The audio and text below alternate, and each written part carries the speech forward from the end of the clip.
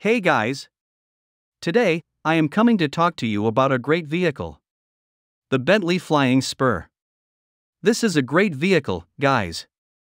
Before we start, I encourage you to subscribe or follow me. The Bentley Flying Spur is a luxury sedan produced by British carmaker Bentley Motors. Here are some facts about the Bentley Flying Spur. The Bentley Flying Spur was first introduced in 2005 as a four door version of the Bentley Continental GT Coupe. The latest generation of the Flying Spur was introduced in 2019 and is built on Volkswagen Group's MSB platform, which it shares with the Porsche Panamera. The Flying Spur is available with either a 4.0 liter V8 engine or a 6.0 liter W12 engine. The W12 engine is capable of producing 626 horsepower and 664 lb-ft of torque. The flying spur can accelerate from 0 to 60 miles per hour in as little as 3.7 seconds and has a top speed of 207 miles per hour.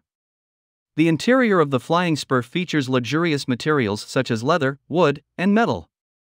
The car also comes with a range of advanced technology features, including a 12.3 inch touchscreen display, a digital instrument cluster, and a 10 speaker audio system. The Bentley Flying Spur is known for its comfortable and refined ride, thanks in part to its air suspension system. The Flying Spur is available in both standard and extended wheelbase versions, with the latter offering an additional 5.1 inches of legroom in the rear seats.